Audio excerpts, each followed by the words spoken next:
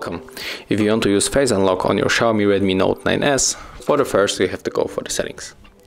Right now we have to scroll down, tap on the passwords and security, then we have to move to the Face Unlock and input our currently log method, in my case it is the pattern.